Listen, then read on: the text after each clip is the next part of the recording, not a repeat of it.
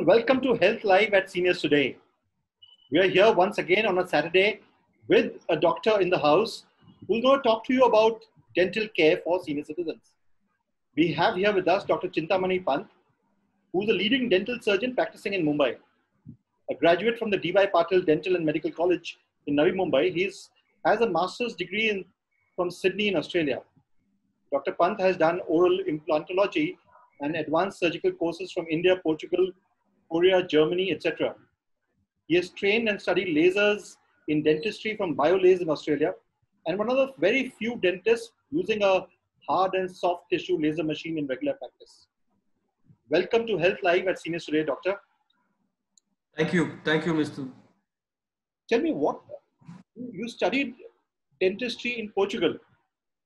Yes, so we did have these advanced courses in uh, oral implantology, and they were conducted in uh, Portugal. So I visited Portugal to study under them, study from the masters in Portugal itself, and uh, learned a lot from the European protocols of working with uh, implants and doing surgical work.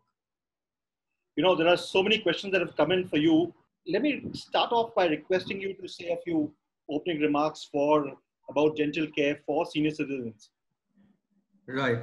So uh, first, let me thank uh, Mr. Vikram Sethi, Mr. Maheshwari, and the entire team of seniors today. Uh, thanks for having me over to interact and uh, try to clear out a few things about the dental health and the oral health that is a big challenge for us right from our childhood right to the senior age. It's something that is a quiz to everyone uh, it's a funny thing, and uh, thanks for the warm welcome. I'm actually welcomed usually by saying that I'm petrified of you and you're the last person I want to see. So, uh, Our it, pleasure entirely. Uh, pleasure is all mine too. Thank you. Uh, so here I am a second generation dental surgeon in the family. Uh, my father has been practicing for the last 45 odd years, uh, still active in practice. And uh, thanks to him, I've got a lot of uh, experience with moving aging patients. Uh, I don't want to be rude by calling all of them generalized as seniors and uh, uh, still want to make them feel young.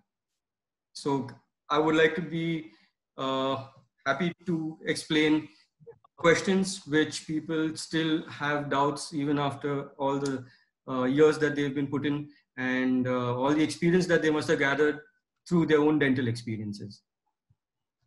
Great. So I'm going to start off with, with a question.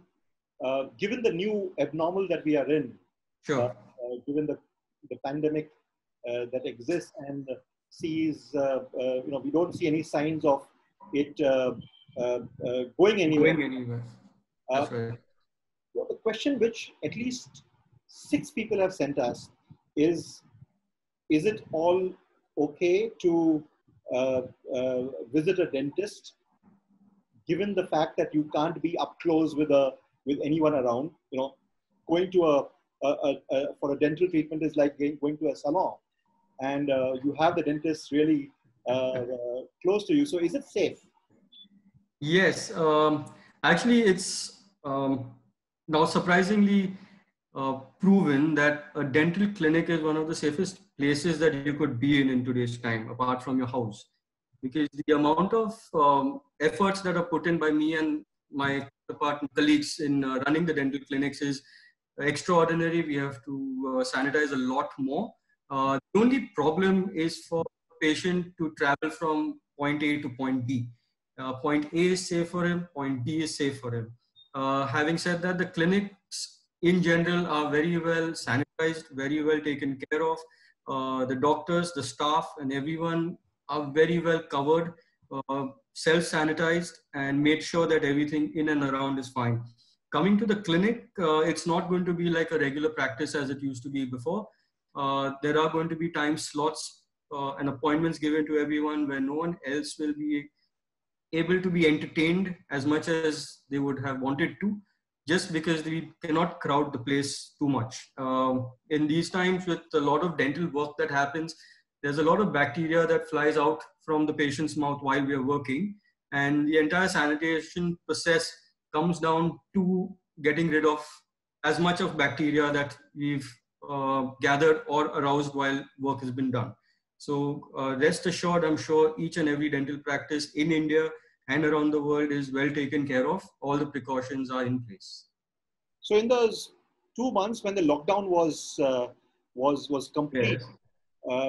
You know, if, if somebody had had some problems uh, in uh, uh, uh, with their teeth, and you know, we right. have a, a lockdown coming up next week in Pune, and we have a lot of Pune, our readers in, in, that city also.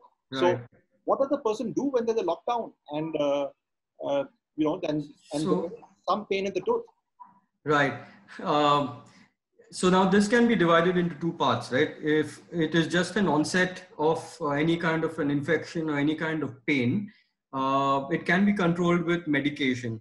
Of course, if there's a swelling and uh, you know it's just too much of unbearable pain, I would not like to put the patient through a lot of uh, antibiotics or medication. To a limit, yes, we have to control it before we could do anything. Uh, in cases where areas like Pune or uh, really heavily contaminated areas where things are just not getting any better, uh, medication is your best option that you could relieve yourself from. Uh, there are a few home remedies that you could do uh, to take care till the lockdown period uh, passes by. And uh, as and when you get the opportunity to go and get at least some relief done from your regular dental. Because in, in the case of dental treatment, there's nothing like telemedicine, right? You you can't no, do consult. Yeah, so the problem is that we both have to physically be present over there. Without us putting our hands in the mouth, nothing's happening. And you can't also do a home uh, home visit, or, or is that is that a concept that is that that that uh, is coming home up? visits? Home visits are very very very limited uh, work that we can do. It's uh, probably not even as useful as it would be for the patient to visit uh, the clinic because uh, a lot of our work depends upon the technology and the machinery that we use. Uh, having said that, again, in a lockdown period, societies don't allow the doctors or anybody else to come in. Uh, medical emergencies are a different scenario where uh, it could be administered in the house, on the bed, you know, anyhow that could be done. Whereas dental, not really. Dental has to be uh, administered, worked upon in the dental unit. Okay, we have a question, um, uh, and in fact, quite a few anonymous uh, readers who say uh, one of them asks, How do you maintain gum hygiene as you age? So, gums is uh, something that go along right from the first breath till the last breath, right?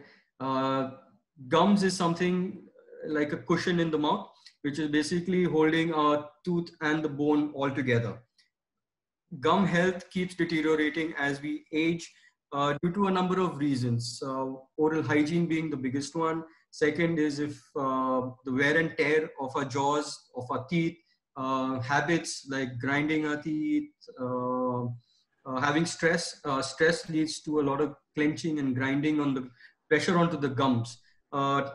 eating too much of hard food. all these things um, are factors that start affecting the gum problems. Maintaining it and managing it is gum massaging every day. Rinse your mouth thoroughly.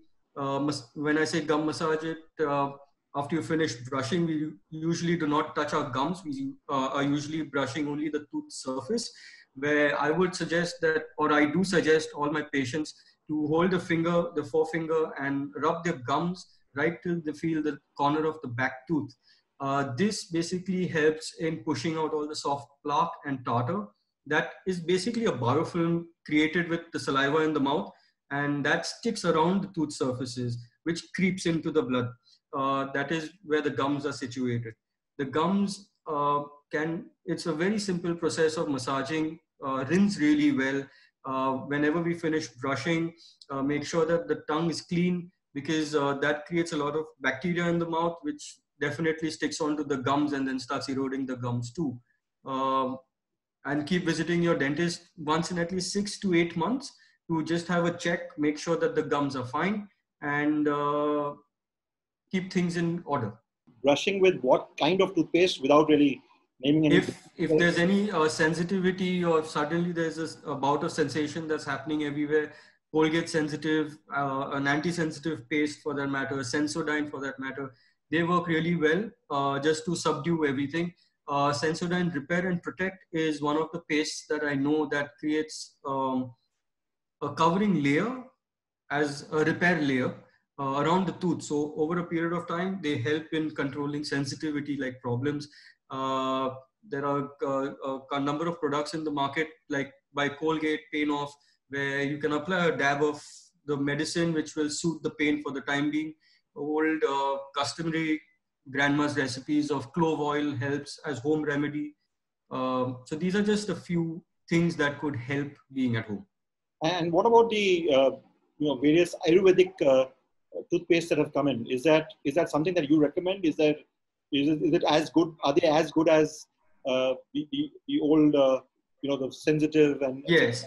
Uh, so see, sensitive uh, pastes are usually meant only for sensitivity issues, whereas the Ayurvedic paste have a number of uh, different uh, mixed together. Now they all work in their different and respective areas of the oral health. Uh, it could even be sensitivity. It could even help in gum bleeding uh, cases, inflammation in gums. So uh, it's in general that you would use one of these Ayurvedic pastes, while a sensitive teeth will definitely need something like a Sensodyne or a Colgate sensitive or any other sensitive paste in the market. Um, yeah.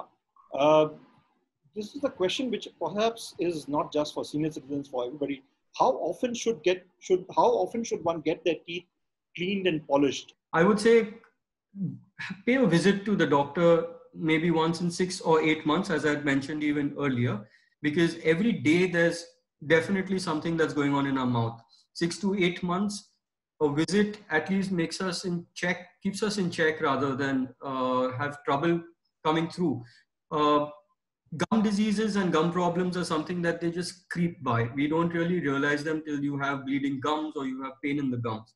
So having them checked, the dentist can definitely see on how the body reacts. Sometimes uh, they, the tartar develops a lot too soon. Sometimes in some cases, they just don't develop for an entire year together. So having it checked is uh, once in six to eight months. Uh, definitely the doctor will suggest on what is needed and what is not needed the, the cleaning process is, is you know, it doesn't really harm the teeth significantly if you if you clean it very often. It doesn't harm the teeth. Um, see, more so, uh, the tartar that builds up that is meant for the cleaning is basically on the tooth surface going towards the gums. So it's basically like if you hold a pole in front of you and the base of it starts weakening because of the tartar, even though the pole is healthy, it's going to start shaking because the base of the gum, the gum which basically holds it, is getting eaten up by the by the tartar. It's a myth that the teeth become even more loose and they have problems once someone goes for cleaning and comes back. It's actually a good thing that you get rid of all that gunk from the mouth because that leads to a lot of health issues, not only oral health, because that mixes with your saliva. When you swallow the saliva, it's going into your system and that creates more trouble in the system that the bad bacteria from the tartar is been ingested. Uh, teeth cleaning is definitely not a harmful thing. It should be done uh, in proper intervals. Uh, if not having any gum issue, at least between six to eight months, have yourself checked for any kind of gum problems. And this, this and this is for people people of all age. From all ages. We have a question from Rajpal Singh who uh, asks, uh, can the restoration of enamel be done if deteriorated? No, no, sorry. You cannot uh, restore enamel. And so, what would you recommend to a to, to so uh, you can't restore enamel so what you do is you, you either start using one of these pastes uh, like sensitive paste like i mentioned uh, repair and protect or anything else in the market it basically uh, uh, leaves a layer it creates a protective layer over the broken down enamel but it does not uh, replicate or duplicate or uh, substitute for what an enamel, enamel does. So my request to all my patients right from the childhood to whoever is senior is that the main problem we have is we brush our teeth too hard. So whoever is brushing hard, 90% of them in towards the years ahead, they start wearing off the enamel. Uh, to protect yourself from deteriorating from any further, start using a soft or an ultra soft brush brush as gently as you can and uh, try to have something where acidity in the body does not uh, act too much. Uh, we have a question which says, what's the common reason for frequent dry mouth? My dad is diabetic and has a heart condition. Uh, diabetes is one factor where you could have uh, a dry mouth syndrome. Uh, being a heart patient, the, the medication that he must be taking also plays a role upon saliva generated in the mouth. Now, uh, having spoken about saliva, uh, they're basically, they, uh, they ooze out of the salivary glands, right? So over a period of time, if the salivary glands for any reason start getting blocked, uh, there could be dry mouth syndrome. Dry mouth can be cured by a couple of gels that are available in the market. Uh, you could take a little on the finger, apply it towards the inside of the cheek. That's where the salivary glands are uh, heaviest. You could just lubricate them a little. They may open up and uh, patient starts salivating. Not completely, but enough that they don't feel the uh, dry mouth syndrome. Also, you could uh, ask the patient to suck on a little bit of a lime or something citric that will uh, aggravate his salivation and that should open his salivary glands a little more. We have a question, we have two questions which are similar. One is that I have been having pan masala for many years uh, and uh, I'm worried about getting oral cancer. And there's another question which says, what are the symptoms of oral cancer? Uh, firstly, pan masala in general is not a very good thing to do it's a very bad habit and uh, i'm sure the patient the person who eats it also knows about it but the habit being as bad as it is is very difficult to get rid of um, i would definitely suggest that you start reducing uh, whatever amounts you're taking start reducing it and keep a goal to get rid of it sooner the better uh, having asked upon uh, the cancer part of it you have to be checked clinically. Uh, you could have uh, already symptoms of what could be an onset of an oral cancerous lesion. Uh, I'm in no condition to say that you have to see it seriously, but since you do have a history of so many years of, of uh, having the habit, please get yourself checked. Uh, symptoms, symptoms like uh, white lesions in the mouth, too many uh, ulcerations in the mouth, uh, a burning sensation in the cheeks, uh, burning sensation to even anything remotely warmer than room temperature, anything to spice, um, restriction in opening of the mouth, lips being a little sore, um, the cheek retraction is not enough. These are all symptoms that you're heading towards unwanted things. And uh, you do definitely show spots on the tongue, uh, lesions around the uh, inside the cheeks, around the border of the gums. Uh, that all needs to be checked clinically just to see if they are predisposing factors for an onset of a cancerous lesion. Uh, if there's anything of such sorts, the dentist or the doctor will definitely guide you the right way. Uh, thank you. And we have our next question says, uh, what are the risks involved in getting a dental implant? there are no risks involved in getting a dental implant. Uh, in fact, uh, a dental implant now has evolved over the years. It's just kept getting better and um, more modernized, more uh, acceptable, and uh, more precise for that matter. So there is no risk in getting any kind of dental implant work done. Uh, the only contradictions to do implants uh, in the oral cavity is one with health problems such as diabetes if the diabetes is uncontrolled or very fluctuating diabetic uh, uh, measures, I would contraindicate it in that condition. Dental implants are basically uh, bone related. They are anchored into the bone and they're supposed to be healthy as long as the bone is healthy. In aging patients uh, who are already medically compromised are on a number of pills and a number of drugs that can create some kind of um, weakening in the bone. If that is the situation, there's a 50 50 chance that your implants may survive or not. I have worked and we've done patients who are late into their 70s, even early 80s, who have had medical issues, but not uh, grave medical issues, just a few heart patients. And otherwise, bone conditions have been good. And uh, for the last, I think, four or five years that we worked upon them till now, they've been totally fine. So there is no risk as such in doing um, dental implants. Again, one more point I'd like to suggest over here is something called as sinuses that we have below our eyes, which uh, we very commonly call a sinusitis when we get a cold. So these are basically air sacs, more so in the molar areas as age uh, progresses, the bone height over there starts reducing. That becomes a complication, that becomes a point to ponder or think uh, while placing implants if whether we will be penetrating into the sinus or not. Otherwise, there is no other problem that uh, faces with dental implants. You know, I must ask you about uh, waterlase dentistry uh, yes.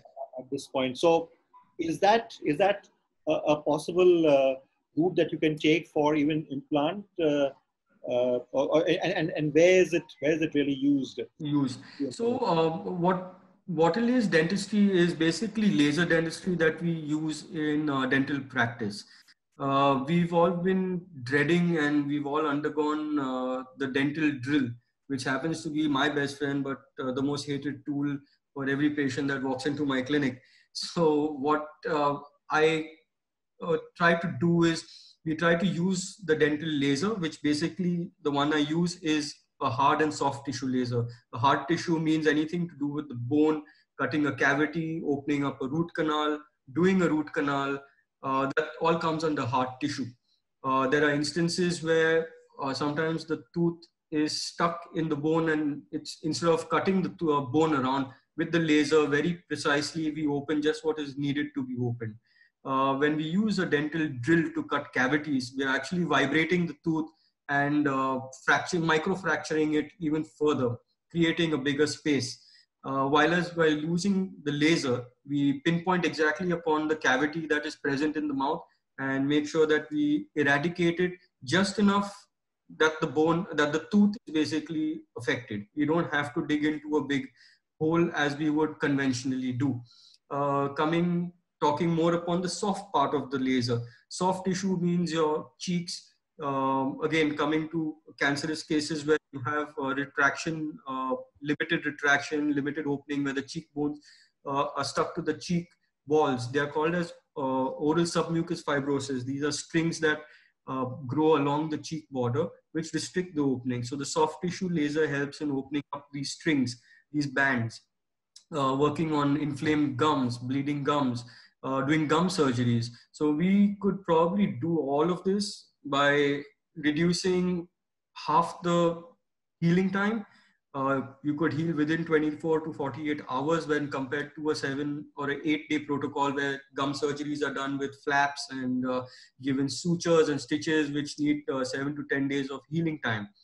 Uh, so these are places where we use lasers in dentistry, uh, trying to minimally invade into the oral cavity and the advantage of it is that we don't really need to anesthetize the patient every now and then that we would otherwise do conventionally. A question which has just been asked is that are there any dangers with laser? Because, for instance, in the case of uh, laser eye surgery, there are right. some dangers which are there. Are there any dangers that that uh, exist mm. with uh, water lasers? Uh, no, uh, there are no dangers unless, uh, of course, see a dental laser to be used uh, for dentistry requires a different set of skills. It's a different science. It's a different phenomenon. It's a different way to work uh, in the oral cavity with a dental laser.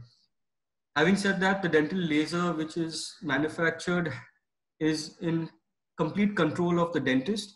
Uh, there are volt uh, there are powers that we work upon in specific areas. However, uh, you have to be that much closer to the tissue that we are working upon. So, for example, if someone has a doubt that while working, if the laser just fires somewhere else in the mouth, is it going to penetrate anything? Is it going to burn down anything? No, it won't because it is specified to a specific wavelength to where it will fire and how much of uh, uh, power is initiated to that particular wavelength. If anything away from it is not going to affect anything, it's completely safe and uh, we take all the precautionary measures while using it.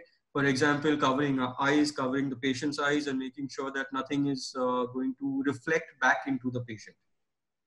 Thank you. We have a question from Sunil Deshmukh who asks how to cover, how to overcome bad odor by home remedies. Bad odor is something which happens for a number of factors main factor, according to what I feel and I've observed, is uh, a systemic problem. A systemic problem comes right from the tummy. If your tummy is not uh, very healthy, if your digestion is not very good, if you suffer from any kind of any level of acidity, it's not churning and digesting the food right. It's sending out that bad bacteria back into the mouth, which mixes with your saliva, and that's basically washing all over the mouth. It's sitting between teeth. It's sitting on the uh, top of your tongue. It is every time you breathe, you're breathing that bad bacteria, which creates that bad odor. That's one factor. A second factor is uh, not maintaining your oral health. If you're not uh, rinsing your mouth enough, if you're not brushing enough after a meal, the bacteria remains in the mouth.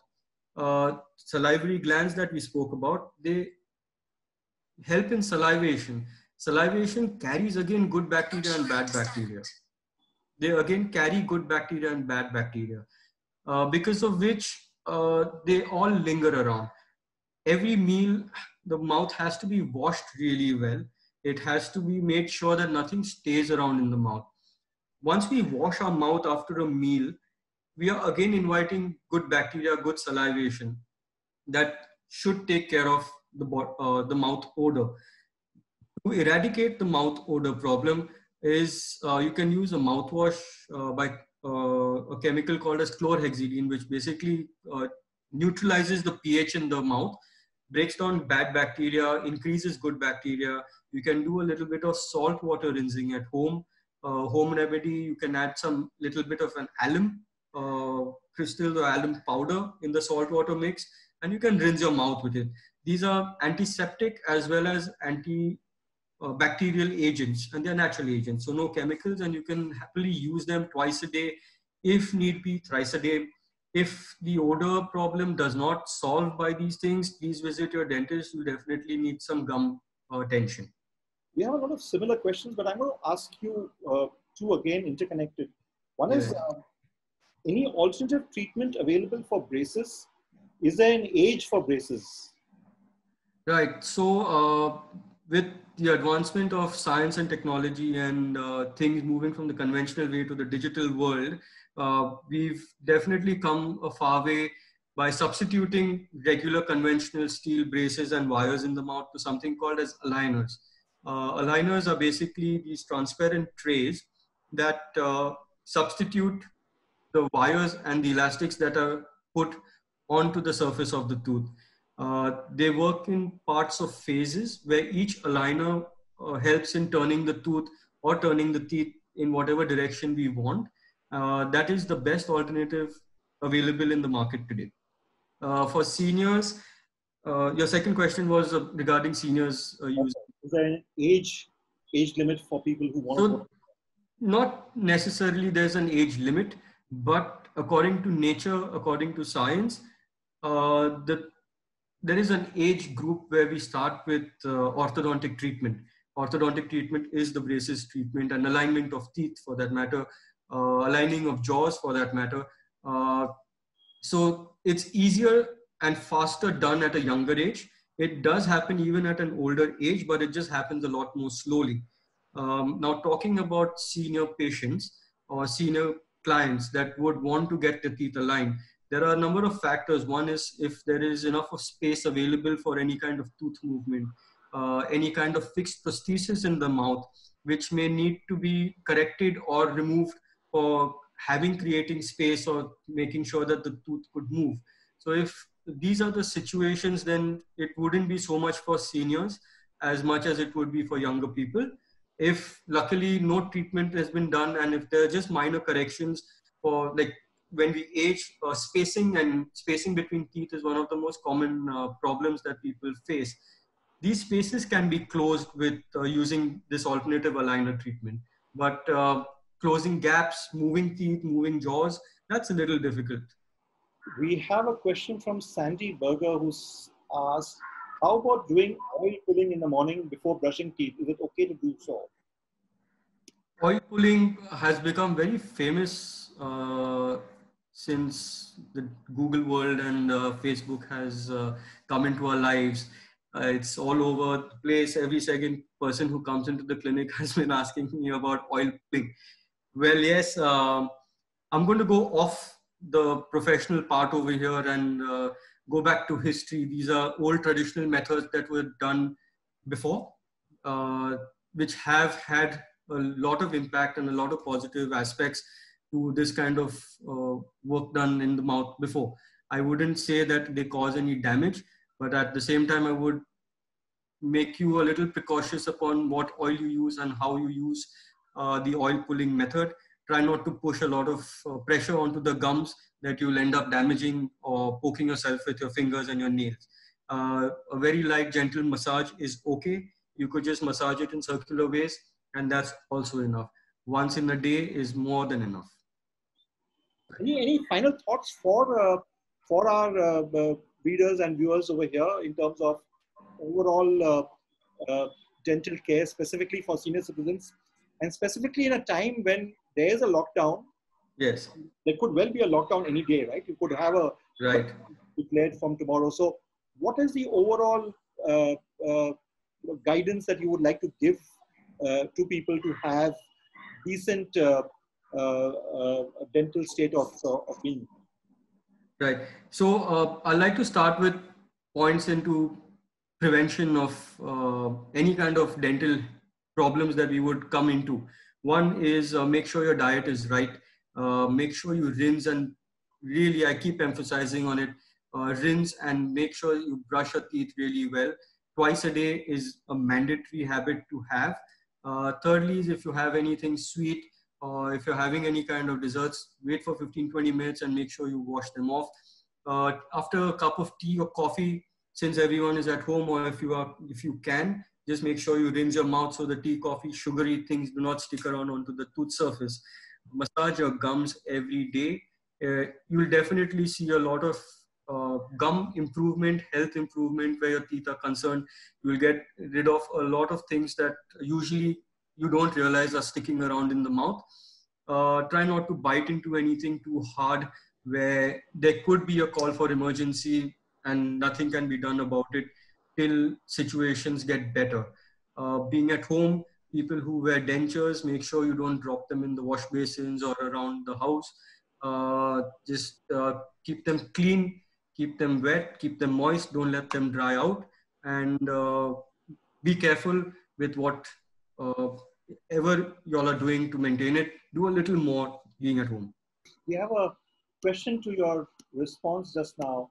And it says, Doctor, it's so easy for you to say that wash your uh, mouth you know any number of times that you eat but in a in a typical office scenario you can't really do that. Or if you are stepping out and having some street food how do you wash your mouth? Of course uh, currently street food etc may be a no no but uh, but, uh, just an overall uh, uh, you know uh, yeah. point of view on this. Yeah so as easy as it is for me to mention it uh, I know it's it's not an everyday thing. Even if I'm working in my own practice all day long, even I don't get that chance. So, as and when you get your chance and opportunity to rinse your mouth, don't take it for granted that things are just getting washed away. They could be affecting your oral health. If not at home, uh, if you're outside, as soon as you get back home, make sure you rinse your mouth before you put anything else in the mouth first, and then again before you sleep at night. Thank you very much, uh, Dr. Chindan. It was a pleasure having you here, given the number of questions that we've received, and uh, you've been very, uh, you know, patiently answering all of them. I hope I've come across and uh, tried to uh, clear out a lot of doubts. Once again, thank you for being here. And sure. thank, you, thank you so much for having me. It's a pleasure and an honor. Thank you.